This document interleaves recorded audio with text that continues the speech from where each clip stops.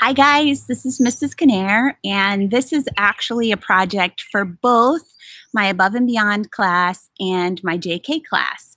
What I thought would be a great way to finish off our end of the year strong and in keeping with things that we've done all year long is to study one more artist. And when I was trying to think of a way to find an artist that would be really somebody that we could study and learn about together under these hard situations and circumstances without all of our art materials from school, I thought one person who has done art using photography and cameras and taking pictures is a man named Ansel Adams.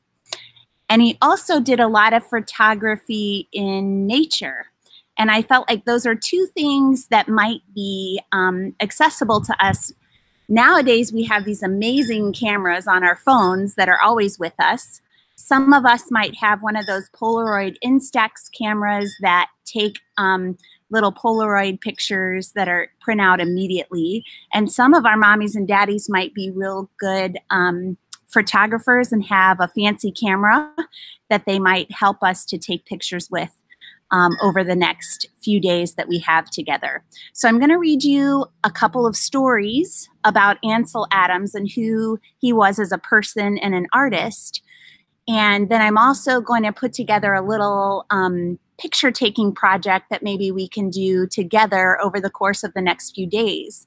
And what I would love for you guys to do is if you want to send me some pictures that you're taking at home, I would be happy to print them out and put them together in a photo album for you to keep. This is called Ansel Adams and his camera. Ansel begged his parents to take him to Yosemite, and that's in one of our national parks. He got a camera there, and Ansel learned to see.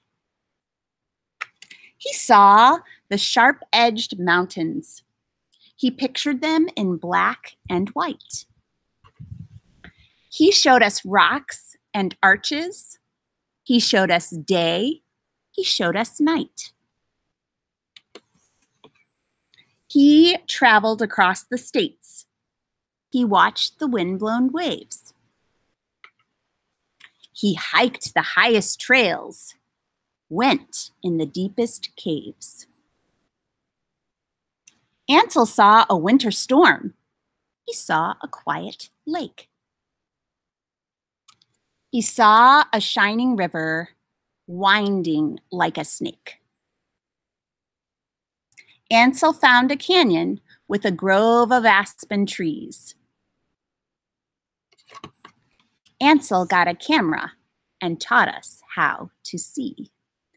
And he didn't really learn how to see, he'd always been able to see, but he learned how to see things from a new perspective and maybe to stop and look and notice things around us and notice God's beauty in his creation.